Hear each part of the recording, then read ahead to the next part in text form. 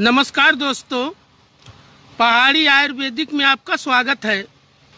तो दोस्तों, आज मैं आपको नागदाउन का पौधा दिखा रहा हूँ और इस पौधे के फ़ायदे के बारे में बताऊँगा। दोस्तों, यह पौधा बहुत आसानी से हर जगह मिल जाता है, क्योंकि इस पौधे को लोग गमले में भी लगाते हैं। तो आप देख लीजिए, पहचान लीजिए इसके पत्ते को और इसके जड़ को।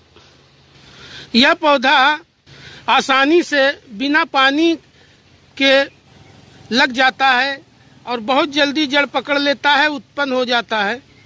यह पौधा करीबन तीन से चार फुट तक ऊँचा होता है और इसे बहुत से लोग खेत खरियान के किनारे लगाते हैं या फिर घर आँगन के आगे लगाते हैं शौक के लिए। तो दोस्तों, इसे देखिए, पहचानिए। इस पौधे में किसी तरह कोई शाखा नहीं होता है, डाली नहीं होता है, या बिल्कुल एकदम सीधा पौधा होता है। तो दोस्तों, इस पौधे का नाम है नागदौन, नागदामनी, और बाकी अलग अलग भाषाओं में अलग अलग नामों से जाना जाता है। आप इसे किस भाषा में, किस नाम से जानते हैं, हमें ज़रूर बताइएगा। तो दोस्तों, मुझे उम्मीद है कि आप इस पौधे को पहचान इस पौधे को पहचान चुके होंगे। तो अब हम आगे बढ़ते हैं। इसके इसके दवाओं के बारे में जानकारी लेते हैं कि यह किस किस बीमारी में इस्तेमाल किया जाता है। तो दोस्तों, सबसे पहले मैं आपको ये बता देना चाहता हूँ कि इस पौधे के पत्ती का कितना इस्तेमाल करना है। तो दोस्तों, इस पौधे की पत्ती करीबन एक एक पत्ती से लेकर तीन पत्ती इस्तेमाल करना है। और कैसे इस्तेमाल करना है, वो भी मैं आपको बता रहा हूँ। और कितना इस्तेमाल करना है, कितने मात्रा में इस्तेमाल करना है, वो भी बताऊँगा। तो दोस्तों, दो से, एक से तीन पत्ती तक इसका लेना है, और उसमें एक से दो काली मिर्च मिलाकर पीसना है। और पीसने के बाद इसे छान कर सिर्फ़ एक चम्मच रस निकालना है। तो दोस्तों, मैंने ये बताया कि इस पौधे के एक से लेकर तीन पत्ती लेना है और एक से लेकर दो काली मिर्च लेना है और दोनों को मिलाकर पत्थर सिल में पीस कर सिर्फ़ एक चम्मच दवा तैयार करना है और उस एक चम्मच दवा को सुबह खाली पेट लेना है और किस किस बीमारी में लेना है किस किस बीमारी में इस्तेमाल करना है, वो बीमारी मैं आपको बता रहा हूँ। तो दोस्तों खूनी बवासीर में सुबह खाली पेट एक चम्मच लेना है। तीन से चार दिन तक इस्तेमाल करना है तो आपका खूनी बवासीर बिल्कुल ठीक हो जाएगा।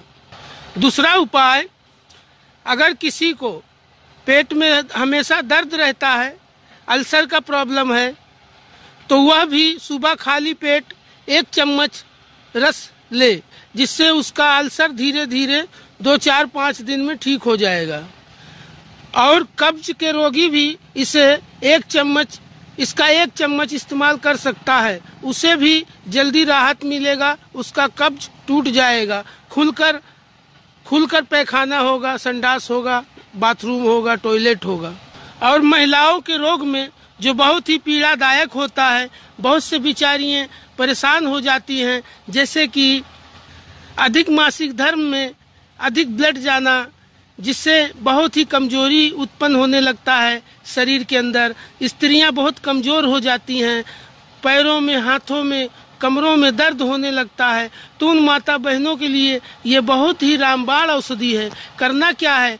बस वही उपाय जो मैंने आपको पहले बताया। इसके एक से तीन पत्ती लेकर, एक से दो काली मिर्च के साथ पीसकर, सिर्फ़ एक चम्मच सुबह खाली पेट लेना है और 10-15 मिनट तक कुछ नहीं खाना है।